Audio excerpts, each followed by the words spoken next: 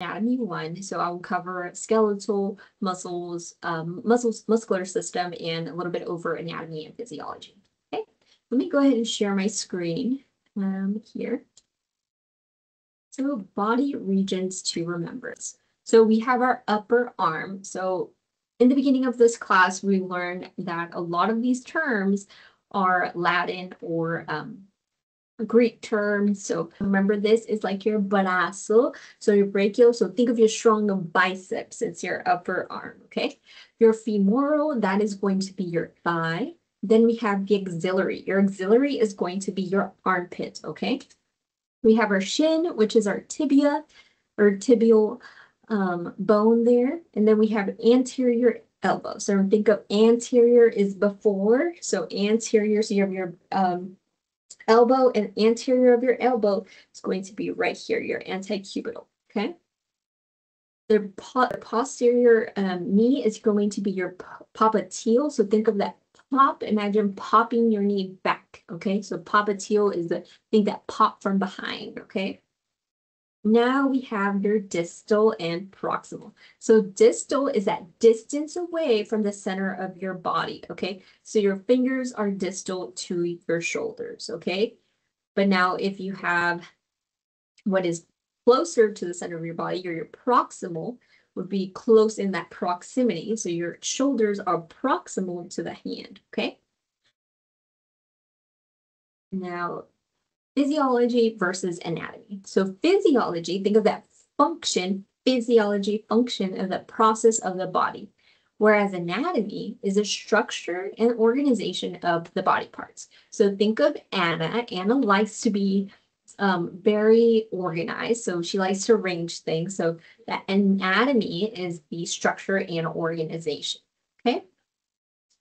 Now, going back and thinking to Biology 189, we learned that cells are fundamental building blocks of all living things, okay? So make sure you know that.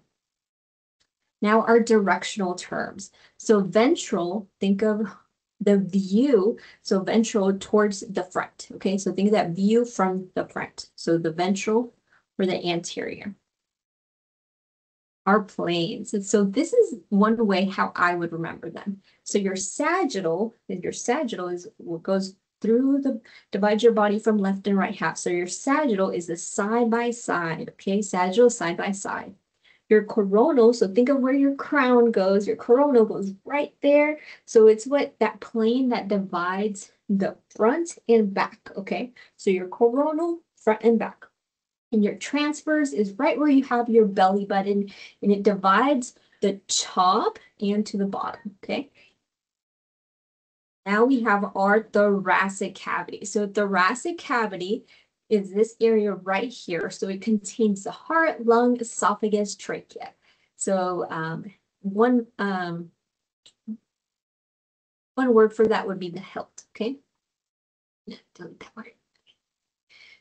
Now we have the abdominal pelvic quadrant. So make sure you know these. This is going to be specifically good information to know, especially once you go into A&P2, because you have to know what is in each quadrant, what will you find in those uh, quadrants. So right upper quadrant, um, left upper quadrant, right lower quadrant, right uh, left lower quadrant, okay? the muscular system function. So the muscular system provides that movement, protection, support, and maintains that body heat. I know whenever I was doing my anatomy class, I always got so tricked on this because I always would think I would see this and I would say, hmm, would provide that movement, that protection, that support? Well, that sounds like the skeletal system. But the reason why it is a muscular system is not only because it provides that body heat, but also because a lot of the muscles in the muscular system aid to support and to are linked with bone and they're aid to protect us and to support us, okay? So muscular system maintains that body heat, remember that, but it also doesn't provide that movement and that protection and that support, okay? Our lymphatic system. So our lymphatic system provides defense against infections, disease. So our lymph, lymph defense, think of like an army fighting this disease, okay?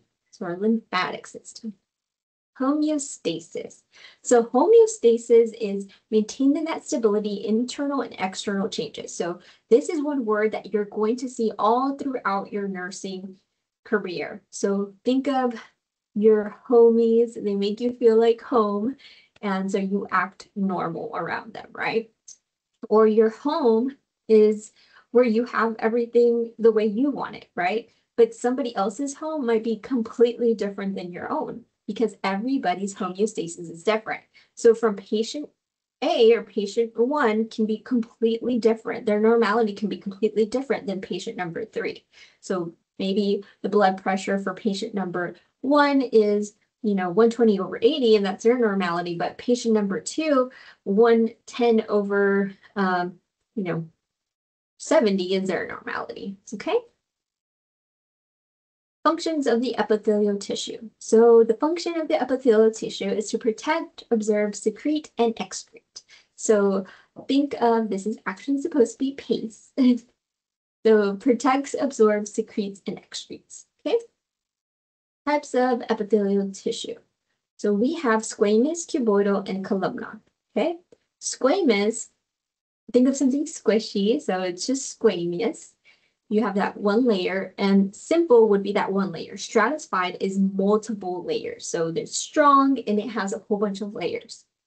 Cuboidal, think of that cube, cubes for cuboidal. And then you have columnar. So think of the columns, that would be columnar epithelium. Okay. Now we have connective tissue. So dense connective tissue holds bones together. So think of something connecting, coming together. It's like a glue holding things together. That is connective tissue. Now, areolar tissue, these are kind of nerves, so it's not that connected. So if you blow through, you can feel the air going through. So think of areolar or airy, so it's loose connective tissue. Bone cells. So bone cells, you have osteocytes. So these are cells in bones. So osteo for bone. So osteocells uh, osteocytes, they're pretty much just mature bone cells. So think of the site of bone. If you're looking at a site of the bones, they're all very mature, okay? Osteoblast is whenever they're building. So they're blasting off to build. So think of a, a build bone. So they blast like a builder putting things together, okay?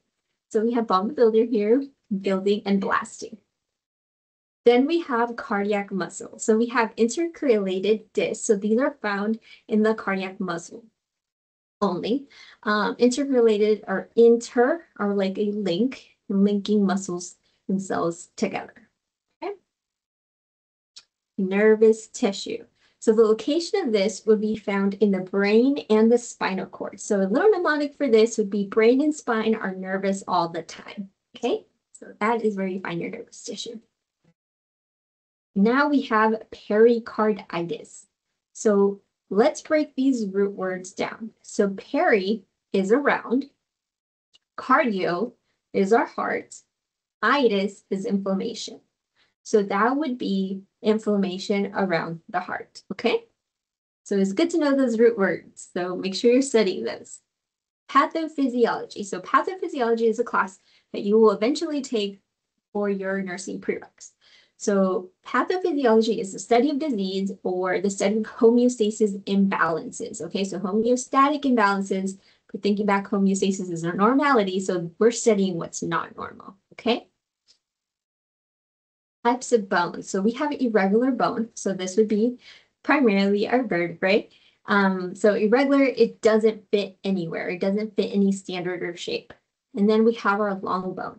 So think of your diaphysis. So you have your diaphysis is all down and all the way long and strong. And um, I know this isn't going to be covered on this midterm, but it's good to know information. So epiphysis, think of epinephrine. Whenever you have epinephrine, you just go up or epi, you're up. So it's going to be on those on either or sides of that long bone. Okay. Now we have foramen. So foramen is a hole. So a hole in the bone. So think of, um, so here we have the occipital, it has that hole, that would be a foramen. Or you can think of it in construction. So or foremen in construction, they are putting, uh, making sure everything's going together to build holes or make holes in everything, okay? Osteocytes in lacunae. So cells and bones, they live in tiny spaces in a lacunae. So think of lacoon or a cocoon for a cell. So they're a cocoon, you have all the your living cells, and then they turn into a butterfly, right?